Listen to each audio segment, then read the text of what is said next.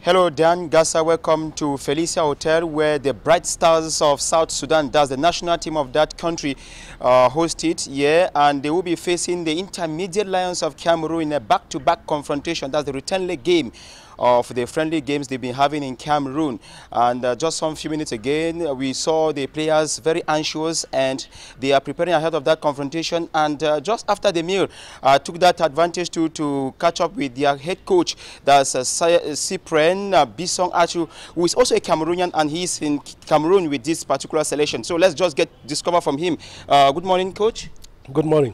Uh, you are in Yaoundé, a game already played, a 0-0 draw last week. Uh, today is a game against uh, the Intermediate Lions, a back, uh, you know, that's a return leg game. What's the atmosphere like? I think uh, the atmosphere is good. Uh, the boys, they are very positive.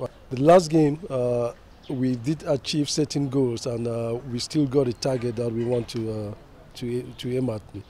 What didn't work last time and what are you going to be laying emphasis on today against the Intermediate Lions? At this, at this level, uh, if you create half a chance, you should be able to, uh, uh, to make good use of it. And we, we didn't uh, take our chances.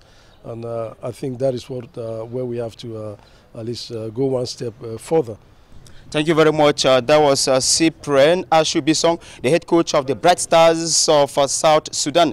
Earlier today, we were speaking to the head coach, that's uh, the, uh, the team press officer of the Intermediate Lions. He told us that uh, the selection is lodged in Mbankomo, that's at the CAF Excellence Center in Mbankomo, and they will be leaving there for the stadium as from 12.30. Just to let you know that this encounter is going to be broadcast live on CRTV Sport and Entertainment as from 3 p.m. Jean-Baptiste Bachom Romeo Nkenyi signing off for the midday news. Over to you.